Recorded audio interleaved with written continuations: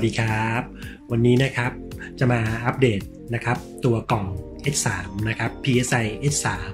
แล้วก็ PSI S4 นะครับทั้ง 2 ตัวเลย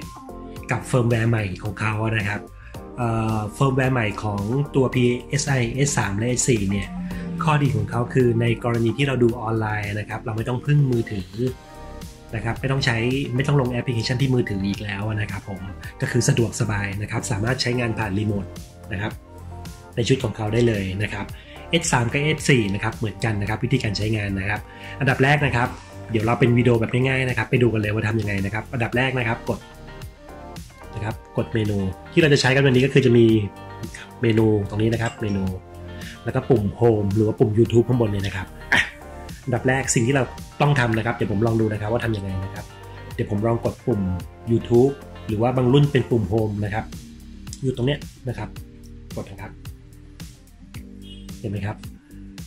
จะมีไอคอนสำหรับดูทีวีออนไลน์ได้เลยนะครับ แต่ในที่นี้นะครับดูได้เฉพาะทีวีออนไลน์นะครับ YouTube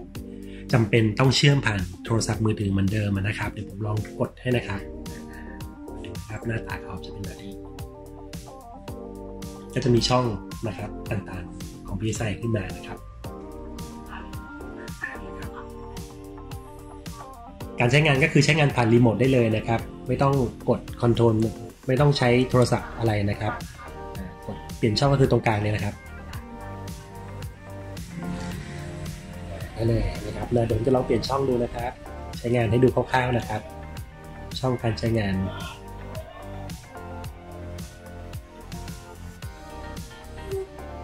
นะครับก็จะมีช่องให้เลือกตามนี้เลยนะครับ ช่องทีวีดิจิตอลนะครับทีวีของเรานะครับ ก็จะเป็น ปกติช่อง5อะถือว่าดูได้ปกตินะครับ ช่องใช้งานก็คือเหมือนช่องทางช่องดาวเทียมเลยนะครับ ช่องมีประมาณกี่ช่องก็ก็เยอะอยู่นะครับนี่ผมกดรีโมทรัวๆให้ดูว่ามีก็มีหลายช่องอยู่ทีเดียวนะครับ มีช่อง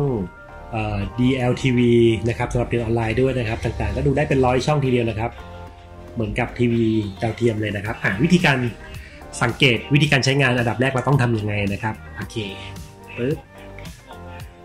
ผมกดมาหน้านี้ใช่ไหมครับปึ๊บอันดับแรกนะครับจะใช้กล่องคือเราต้องทำการเชื่อมต่อผ่าน Wi-Fi กดเมนูที่รีโมทนะครับ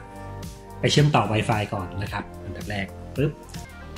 เป็นเชื่อมต่อผ่าน Wi-Fi ก็คือเชื่อมผ่าน Wi-Fi ปกติเลยนะครับ ไม่มีอะไรซับซ้อนนะครับ ก็คือ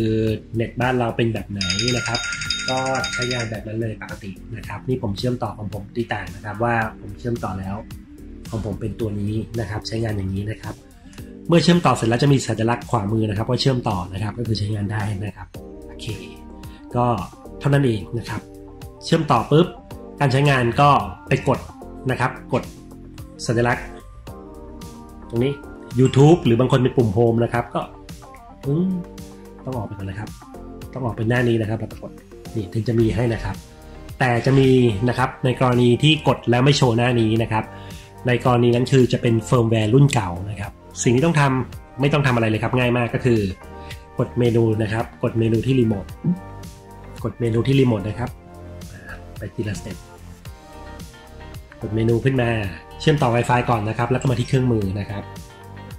กดเมนูนะครับ เชื่อมต่อ Wi-Fi ให้แล้วเสร็จนะครับ มาที่เครื่องมือนะครับ กดเข้าไปทำการอัปเดตทางออนไลน์นะครับ